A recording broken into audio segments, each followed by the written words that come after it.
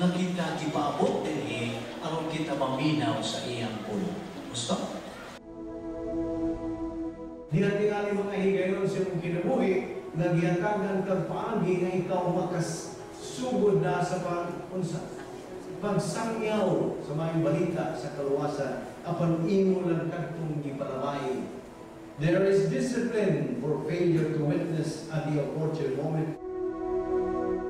divine viewpoint, mental attitude, mao kini ang hinugnan sa imong gahong espiritualon Kung sa malang plano sa dinhi imo makatunan sa pulo sa mga sa imprintado ng mga pulo sa Diyos, o kini huna-una sa Diyos.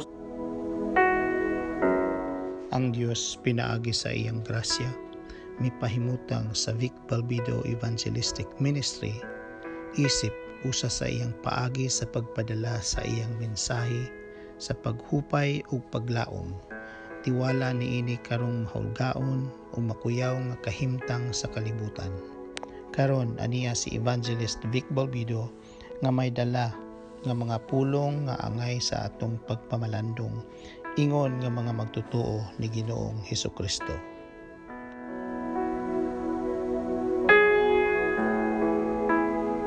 Tungod siyang gugma nga personal ngadto sa Dios kamahan, iyang gilahos ang mao nga buluhaton nga iyang pasanon he carried or bore all our sins. He had impersonal love for all of us. Ugutan niya ikita personally, ang panangimong sa, ang akong sa, iyang gipasan dito sa cross. Atong makita din he, as we move forward in principles, in eternity past, Jesus Christ as eternal God made four decisions. Wa pagod siya mo anto sa cross. Dito pa meeting kini silang totoo ang Diyos nga mahan, Diyos nga anak, ug Diyos Espiritu Santo. Unya, ah, ga record ko ban naput naputol ga record ko mo tuwa ko mo tubag ni mo unjara unjara unjara tawag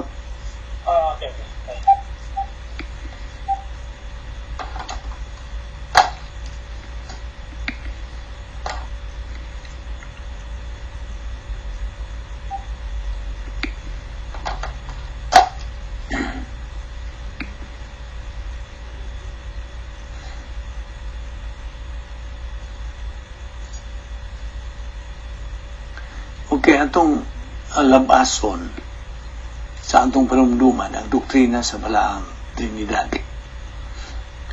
Mo kini gitawag og doktrina sa usa sa tulo, meaning three divine persons in one God. Okay. Kini silang tuto, mao ang nagalihok alang sa atong kasaysayan.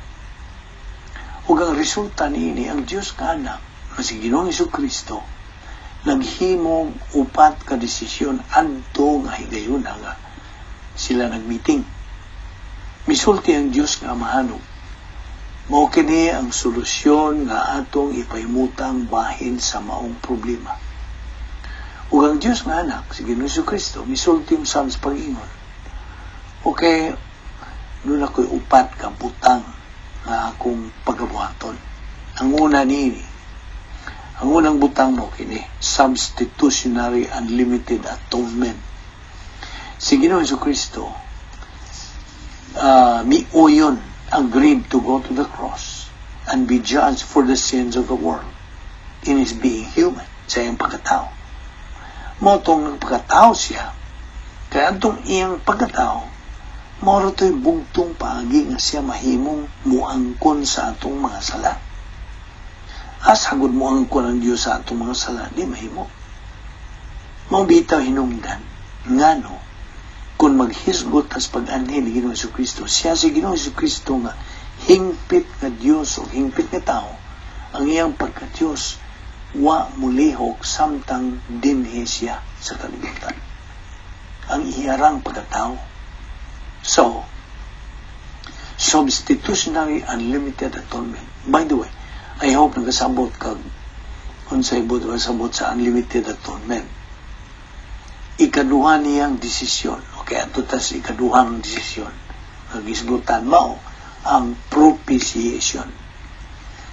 He agreed to satisfy the justice and righteousness of God the Father miuyon siya. So propitiation ang pagtagbaw sa hustisya o pagkamatarong sa Diyos na mahan mo na ibot pasabot ang ikato niyang desisyon nga gisgutan maong gitawag sa in English reconciliation. Si Ginoong Kristo miuyon sa pagpasig-uli he agreed to reconcile man to God pagpasig-uli sa tao ngadto sa Dios pinaagi lamang sa pagtuo lamang kang Kristo lamang. So ang number one substitute. Kasabot ka nag unsay substitute pagpuli. Number two propitiation. Pagtagbaw sa gikinahanglan sa hustisya sa Dios kaya ang hustisya sa Dios maumay magahukom sa sala. Ug sa dihang si Ginoong Kristo mo'y mipataliwala tali sa hustisya sa Dios ug sa ato ang mga sala ang silot nga gi demand. The justice of God demanded punishment for sins. Imbis kita'y pagasilutan si Ginoong Kristo mao may may pataliwala sa pwesto siya ay may voluntaryo so to speak. So ang silot dito ipahamtang kaniya imbis ngari ka nato that is propitiation. Okay? Natagbaw ang mustisya sa Dios sa gibuhat ni Ginoong Kristo then musunod ang reconciliation. Ang pagpasiguli. Reconciliation sa in English. Tungod kay si Ginoong Kristo man mawahing bayad sa demand sa justisya sa Dios karon kitang mga tao kita unsay kita untay mo bayad e gibayaran man ta gawas no nata nga mapasiguli mahibalik ngadto sa Dios nagasamot ka. Apan ang Biblia nagasulti nga usara ang tigpataliwala karon tali sa tao o sa Dios nga mao si Ginoong Hesus Kristo usara. Because it was the Lord Jesus Christ who decided in eternity past to make that action of reconciliation. Kanang buhata. Wala yung paagi kung buot kang mubalik nga to sa Dios o sara ka paagi nga ikaw may balik nga to sa Dios o kanang maong paagi maura ang imong pagtuo lamang kang Ginoong Kristo lamang. Faith alone in Christ alone. O kini mo ni hingpit perfect nga paagi nga gitanyag sa Dios nga sa tao. Ug ang ikaupat niyang desisyon nga gihimo alang niining atong kahimtang sa sa mao ang gitawag og redemption. Sa Binisaya ang paglukat. In redemption Jesus Christ agreed to free man from his slavery to the sin nature by providing the redemption solution of salvation through faith alone in Christ alone. Kining doktrina sa redemption bahin usab kini sa pagtulon sa Biblia bahin sa paagi sa kaluwasan sa tao. Bahin sa doktrina sa pagsangyaw, pagsaksi o witnessing. Now,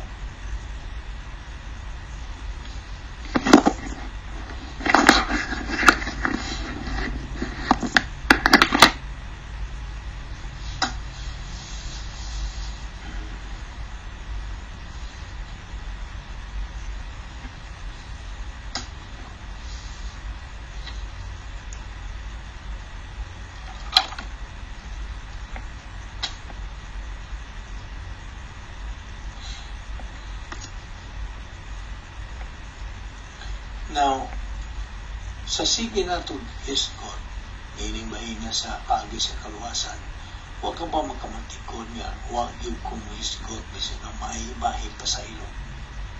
Huwag yung kumuminsyon anything about pa sa ilo. Do you know why? Naibaw ka magngano nga huwag yung kumisgot o bahay pa sa ilo. Naibaw ka ngano. Wala ko na hisguti o dili yung ko makahisgot, bahay pa sa ilo tungod kay paminaw. Tungod kay ang tanan nga gibuhat ni Ginoong Kristo dito sa krus why pasaylo nga nitabo there was no forgiveness at the cross. None. Now well I'm no uh, na uban nga mulis kuhag o kadungog ini puntuha o ingon tingalan nga way ngayon sila nga sa way kapasiluan na nahitabo dito sa cross Paminaw pa kayo, ining ato ipatinaw kanimo bahay nini. O lagi hindi kinahanglan imong bukas na pangunahuna. Open mind. Ang tinuod mo kini. Ang nitabo dito sa krus, maura ang paghukom. Judgment, di ba? The cross was judgment. The cross was not forgiveness. Dili ka pa sa iluan ang cross, kundi paghukom Unsa man day yoy nahitabo ni Ginoong Kristo dito sa cross? Unsa man? Namatay, di ba? Nganong namatay man siya? Be, tungod sa atong mga sala. Unang iyang kamatayon was judgment o ti paghukom. Because the justice of God lagi demanded that particular punishment. So there was no forgiveness that happened on the cross. There was none. So tingali mo yun ka, ah, then ako maminaw ng iyong magusta din. Ihingo na sila, buwa ko may kapasiluan o forgiveness ng nagtabo dito sa cross. Well, okay. Ayaw nagtalikod. Ayaw sinta na yun ini pagtulunan na. Ako ang gingon, have an open mind. Ang lihi una, ang imong pangunahuna, be analytical, ipakita ng imong pag pensar ba, of course, pangayua sa Espiritu Santo ang yan. Paglamdak sa imong salabutan, bahid, niininggi imong tao. Tingala mo yung kag-delicate na friend. Kung you consider it really delicate, tandugon. Okay? Now, only God, the Holy Spirit, who can truly enlighten you, can make this thing lucidly perspicuous. Tataw, tinaw, klaro nga pagpasamo. Okay?